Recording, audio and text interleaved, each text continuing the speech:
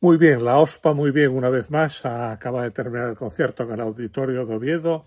Muy bien, francamente bien. Dirigida por, por maestro Juan Jomena, que es de casa también, y con Aitor Evia eh, como concertino. A ver cuándo por fin lo contratan establemente, ¿no? Pero bueno, eh, lo que decía, la OSPA muy bien. Fue un concierto precioso. Empezamos con Ravel con la Rapsodia Española y que ya introdujo, introdujo la, el españolear, que fue un poco la, la, velada entera, ¿no? Y después, que me gustó mucho, como la interpretaron muy bien, muy conocida por otra parte.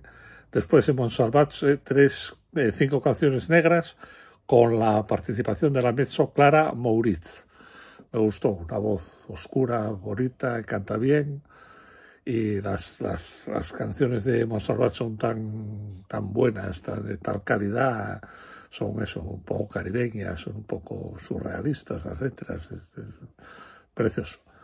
Y ya en la segunda parte, La vida breve, de Falla, qué decir, ¿no? otra obra mil veces oída y que interpretó muy bien la, la, la, OSPA. son, son obras que permiten el lucimiento de una orquesta, porque se oye todo, se oye y después eh, el sombrero tres picos, nada menos.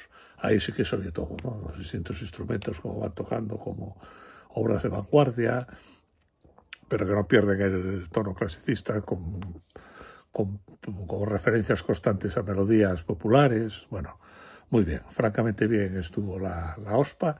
Hay que felicitarse por tener una orquesta tan estupenda.